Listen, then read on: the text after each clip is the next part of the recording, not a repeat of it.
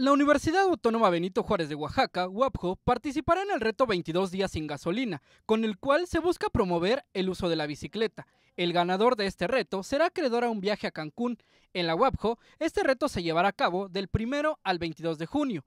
En este reto no solo participarán universitarios de Oaxaca perteneciente a la UAPJO, también estudiantes de la Universidad Nacional Autónoma de México, Universidad Autónoma de Chihuahua y la Benemérita Universidad Autónoma de Puebla.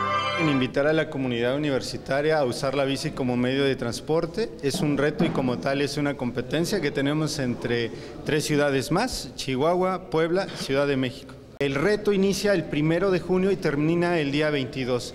Eh, estamos programando que nos acompañe. Es un donativo que tenemos justamente por un proyecto de cambio climático para mitigar los efectos del cambio climático. Entonces estamos haciendo la coordinación del, reto.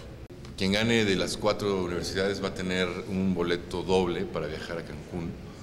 Pero además de este incentivo, el incentivo es eh, cuidar el planeta.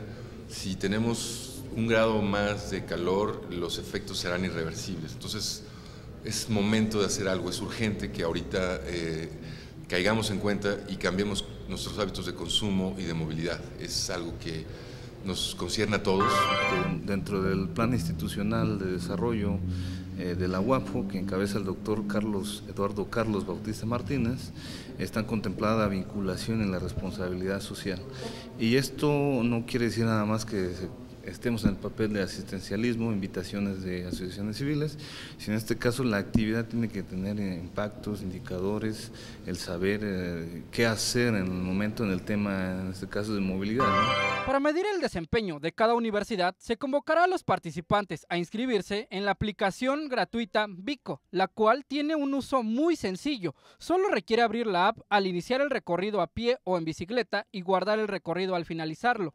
Esta aplicación medirá la cantidad cantidad de estudiantes participantes, los kilómetros recorridos en bicicleta, la cantidad de kilocalorías quemadas y la cantidad de CO2 que los jóvenes estudiantes le ahorrarán al país durante los 22 días que dura el reto en esta ciudad. Con imágenes de Pablo Enrique Cruz e información de Karime Cruz, para MBM Televisión.